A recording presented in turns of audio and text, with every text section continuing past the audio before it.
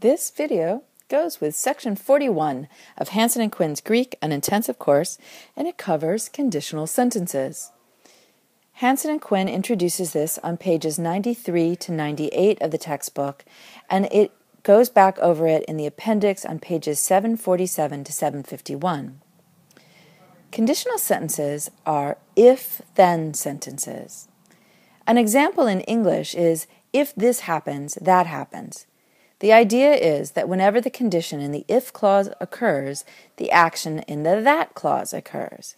But we can change it up. If this happens, that will happen, happen is a little different, and it supposes a possible action in the if clause, and it makes a pretty definite claim about what will happen when the if clause comes true.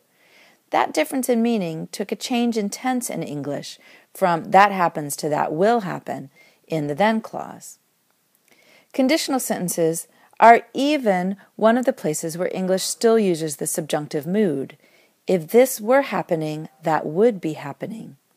The if clause in this instance has the English subjunctive, and the assumption behind the sentence is that the action in the if clause isn't happening, but the stuff in the then clause would be if the stuff in the if clause were happening. Greek also uses different moods and tenses to give different implications to the conditions in if clauses coming true or not. So let me give you a little bit of jargon before I show you how Greek does conditionals. The if clause is called the protasis. In the English, the protases up here are if this happens, if this happens, and if this were happening. The then clause jargon is apodosis. So in our English examples up here, the apodoses are that happens, that will happen, and that would be happening. You can even see from the Greek that you already know the before in the pra of the word protasis, and that help me, helps me remember the jargon sometimes. So, so in Greek, to know how to translate a conditional sentence, you need to check four things whether the if is a or aeon, what the tense and mood of the protasis verb is, what the tense and mood of the apodosis verb is, and whether or not there's an on in the apodosis. Check all four things and identify the Greek conditional sentence pattern and then translate. So let's go on and learn those patterns which each have a protasis and an apodosis. We're going to learn six basic patterns of conditionals. There are a few more which are pretty rare to see, so we won't bother with them.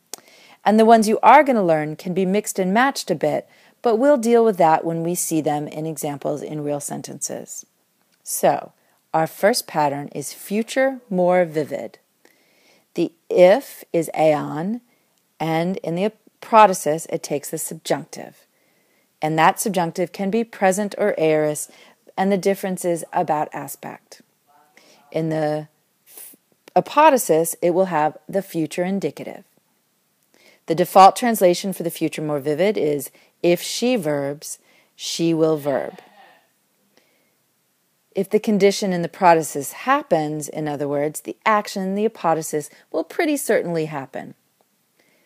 Our next pattern is future less vivid, and we're going to end up calling this the should would conditional for reasons that you'll see.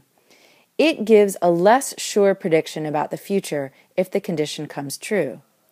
We get A plus the optative in the protasis, and again, that optative can be present or aorist, and the optative, present or aorist, in the apodosis plus on.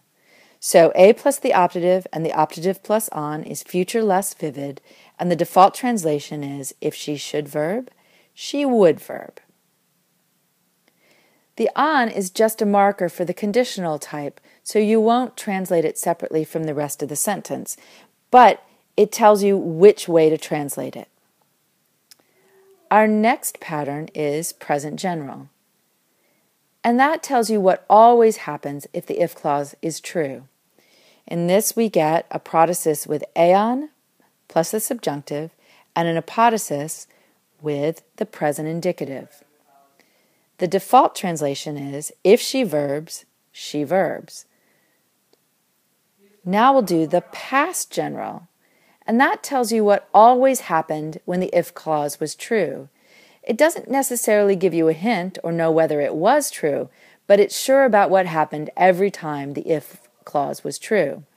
The pattern is A plus the optative, could be present or aorist, and then the apodosis has the imperfect indicative. You translate if she verbed, she verbed. Now we have two more. The first is the present contrafactual, or easier to say, contrary to fact. The assumption here is that the if clause is not true, it's not a fact, but the writer really wants to tell you what would be happening if it were. This pattern is A plus the imperfect indicative and the imperfect indicative plus on. And the translation default is if she were verbing, she would be verbing. Of course, it means if she were verbing, but she's not, she would be verbing, but she isn't.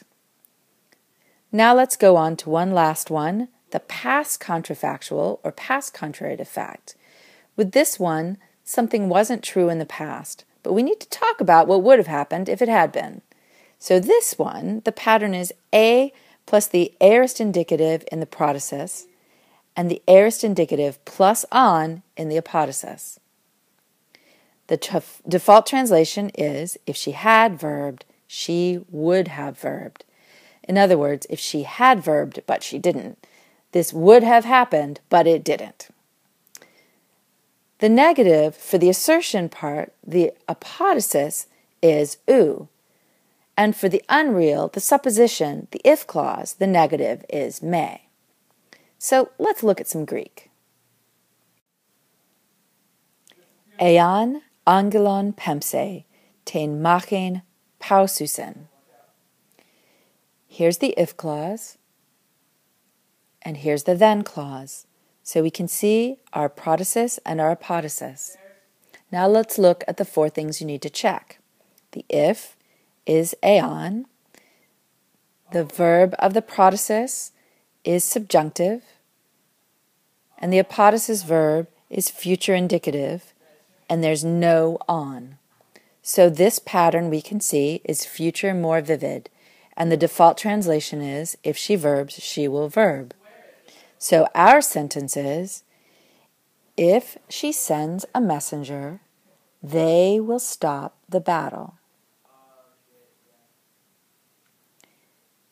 You can put clauses in the other order without any change to what the sentence really means, just as you can in English. We could translate this, they will stop the battle if she sends a messenger, and the implication is the same. But of course, you need to see more. So, here we have a angelon pempsai ten machen pausaien on. Here we have the protasis and the apodosis. And now we're going to check which kind of if. It's an A. What verb in the apodosis? It's optative. What verb in the apodosis? It's also optative. And this time we do have an on. So that pattern, A plus the optative and the optative plus on, is future less vivid. And the default translation is if she should verb, she would verb. So we can now translate the sentence if she should send a messenger, they would stop the battle.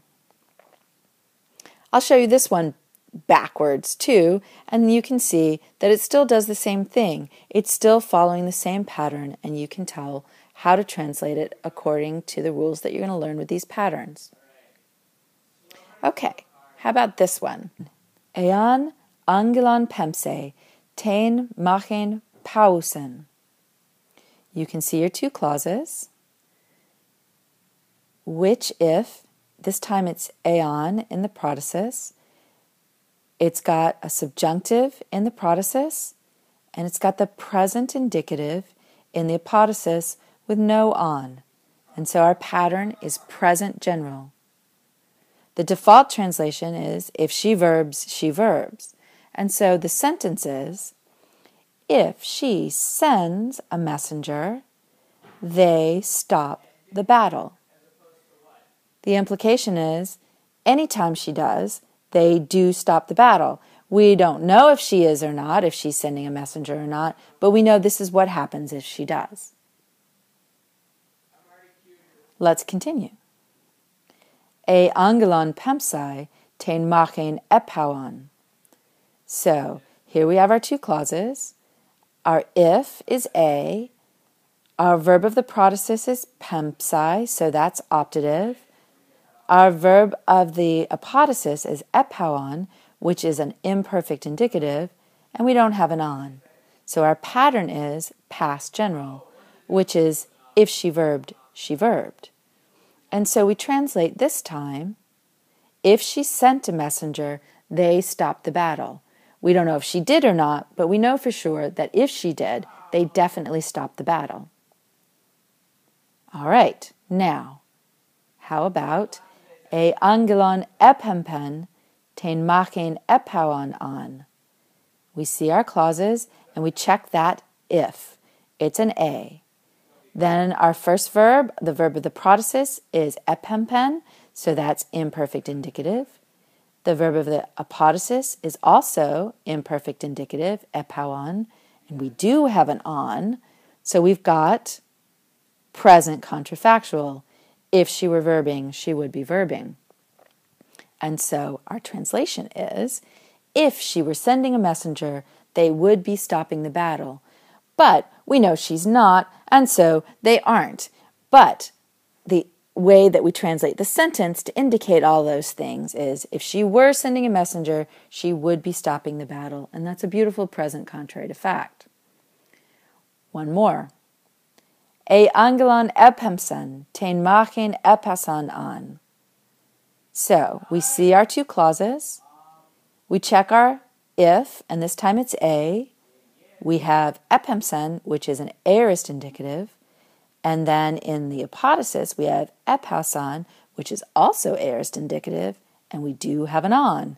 And that makes it past contrary to fact. If she had verbed, she would have verbed. And so we get for this sentence if she had sent a messenger, they would have stopped the battle. But we know that what that sentence means is she didn't, so they didn't. But the translation is if she had sent a messenger, they would have stopped the battle.